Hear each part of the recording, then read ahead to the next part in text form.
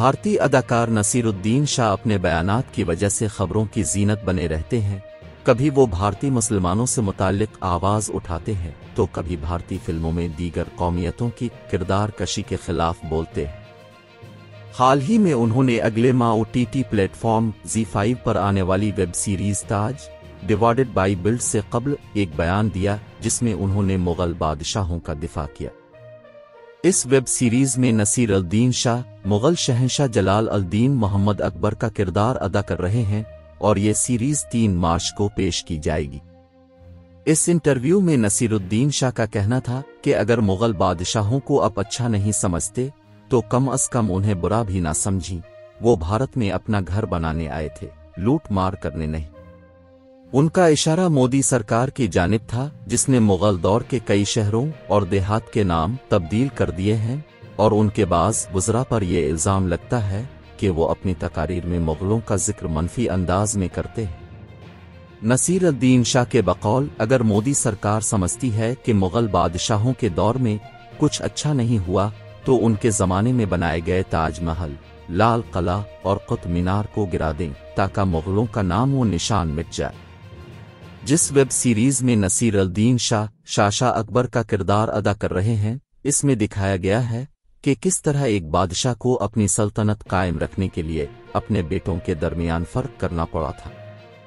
इसी सीरीज़ की प्रमोशन के दौरान मीडिया से बात करते उनका कहना था कि भारत में सेहतमंद बहस के लिए कोई जगह न होना खतरनाक है।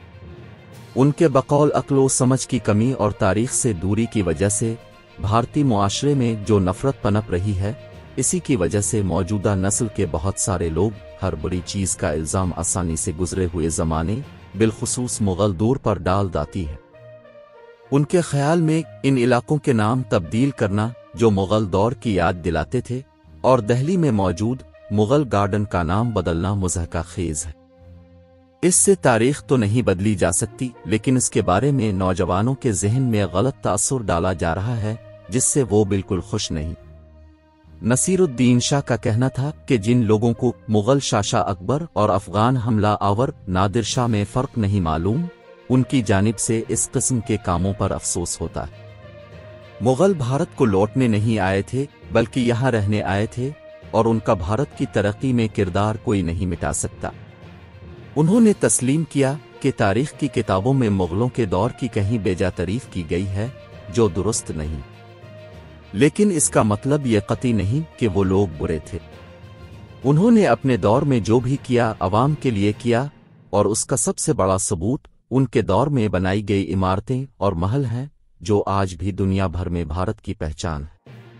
मशहूर फ़िल्म मासूम और मोहरा में अपनी अदाकारी से मद्दाहों के दिलों में घर करने वाले नसीरुद्दीन शाह ने हाल ही में उम्मत शाह को भी उनके एक मुतनाज़ा बयान पर आड़े हाथों लिया था। उम्मत शाह ने बंगलोर में वर्कर्स कन्वेंशन से खिताब में अवाम से इस्तफसार किया था कि क्या वो टीपू सुल्तान और राम मंदिर बनाने वाले नरेंद्र मोदी में से किसका साथ देंगे? नसीरुद्दीन शाह का कहना था कि न सिर्फ़ ये मवाजना गलत है, बल्कि इस पर बात करना भी बेवकूफ़ी है। एक ऐसा बहादुर शख्स जिसने बरतानवी फौजों को भारत से भागने पर मजबूर करने के लिए अपनी जान दी, इससे किसी का भी मवाजना किया जाना दुरुस्त नहीं। ये पहला मौका नहीं, जब नसीर अल्दीन शाह ने इस नौयत का कोई बयान दिया है।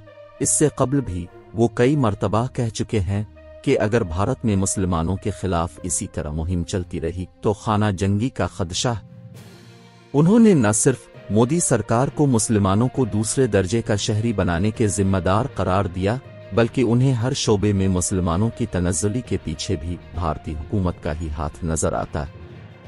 लेकिन मोदी हुकूमत के वजरा नसीर अल्दीन शाह के बयान को रद्द करते हुए ये कहते रहे हैं कि भारत में हर मज़हब के रहने वाले को मसावी हुकूक हासिल। है